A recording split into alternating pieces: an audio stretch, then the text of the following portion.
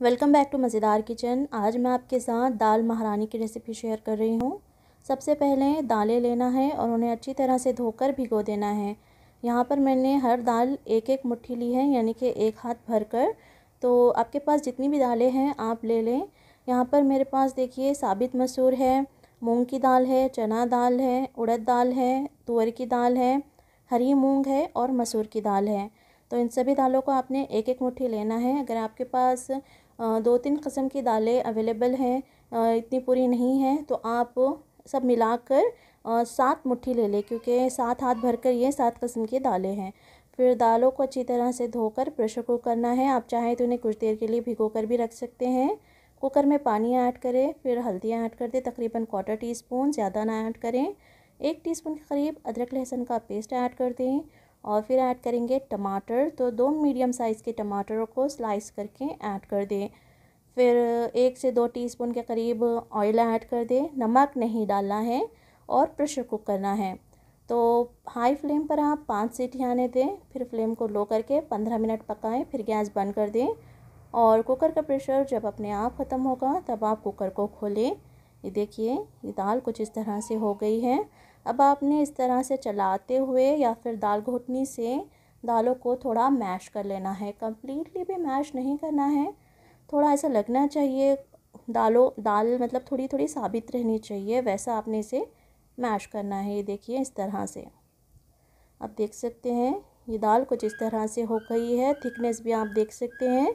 अब हम दाल के लिए तड़का बनाएँगे। तो महारानी दाल है तो ऑयल लेना है और उसमें घी ऐड करना है। तकरीबन फिफ्टी एम ऑयल ले लें और उसमें थोड़ा घी ऐड कर दे।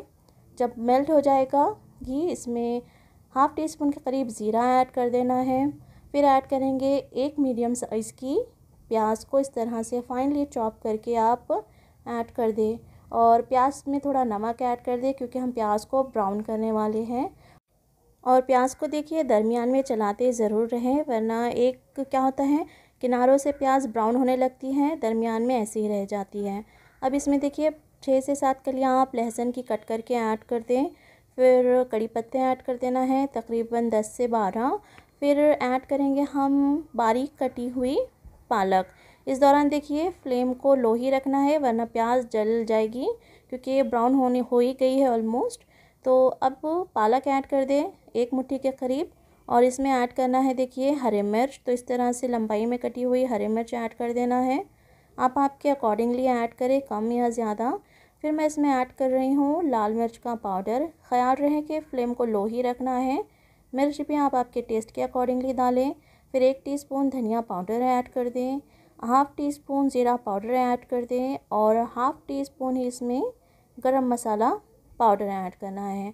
सभी चीज़ों को देखिए अच्छे से मिक्स करना है कुछ देर के लिए भूनना है। इस बात का ख्याल रखें कि इस प्रोसेस में प्याज जलने ना पाए।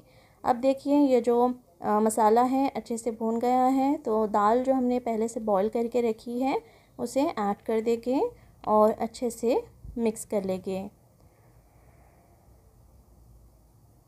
और नमक भी हमने अभी तक ऐड नहीं किया है। तो इस दौरान आप नमक भी ऐड कर दें। नमक आप आपके टेस्ट के अकॉर्डिंगली ही ऐड करें और अच्छे से मिक्स कर लें।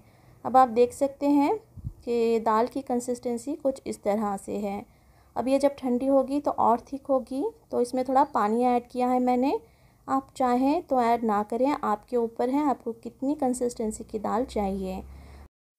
अब दाल को देखिए हाई फ्लेम पर एक उबाल आने देंगे और फिर फ्लेम को लो कर देंगे और इस लो फ्लेम पर ही कुछ देर तक पकने देंगे। फिर इसमें क्रीम ऐड करेंगे, तीन से चार टेबल स्पून आप इसमें क्रीम ऐड कर दें। फ्रेश क्रीम आप चाहें तो मलाई भी ऐड कर सकते हैं। मलाई ऐड करेंगे तो अच्छे से फेंटना है और फिर ऐड करना है। फिर मिक्स कर देंगे और ये देखिए, दाल महारानी तैयार हो गई है। अब लास्ट में इसमें डालें के बहुत सारा हरा धनिया। तो ये देखिए मैंने ऐड कर दिया है हरा धनिया मिक्स कर लेंगे और बहुत ही ज़बरदस्त सी दाल महारानी बहुत ही अच्छे से आई मीन आसानी से और जल्दी बनकर तैयार हो गई है। तो आप टेस्ट कर ले लास्ट में, नमक कैसा है और फिर ये दाल महारानी को आप रोटी, चावल किसी के भी साथ सर्व करिए ये रेसिपी आप घर पर ज़रूर ट्राई करिएगा और कमेंट कर कर बताइए कि आपको रेसिपी कैसी लगी।